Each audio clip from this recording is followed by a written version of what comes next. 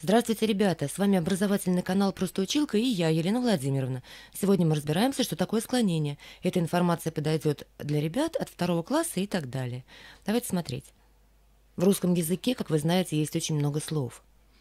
И сегодня мы будем говорить о существительных. Это такие слова, которые отвечают на вопрос «кто» или «что». Возьмем любое слово, а теперь я вам покажу, что это слово может изменяться только в шести вариантах. Смотрите, у меня есть кошка, у меня нет кошки. Я даю корм кошке. Я вижу кошку. Я играю с кошкой. И я думаю о кошке. Вот это изменение по окончаниям и называется склонение.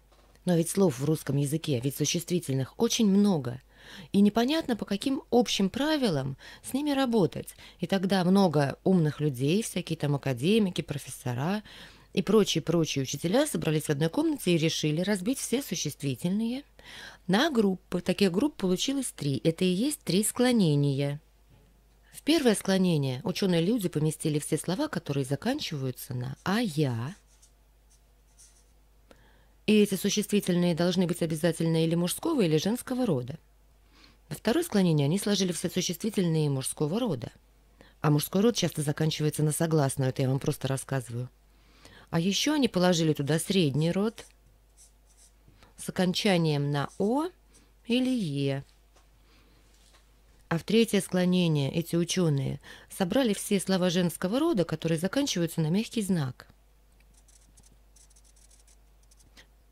Если вы видите у слова мягкий знак в конце, это значит у него нулевое окончание. Так и напишем.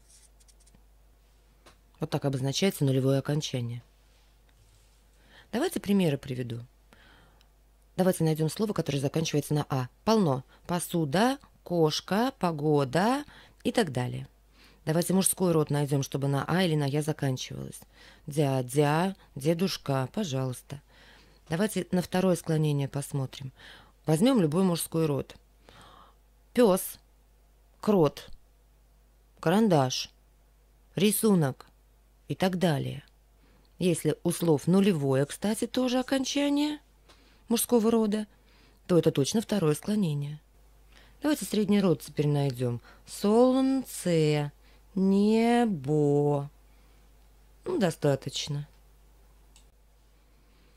А третье склонение давайте найдем, чтобы был женский род, а в конце был бы мягкий знак. Очень легко. Радость, тетрадь, мышь, ночь, дочь и так далее. Их очень много. Поэтому, когда вы видите существительное, вы смотрите на, на то, какой это род. Это важно. И вы смотрите, какое окончание у вашего существительного, и тогда вы никогда не ошибетесь. А с вами была преподаватель по школьным предметам Елена Владимировна. Ребята, если есть какие-то трудные темы, что-то не понимаете, болели, устали, не поняли, забыли, вы, пожалуйста, мне напишите. Видео все для вас сниму, обязательно выложу.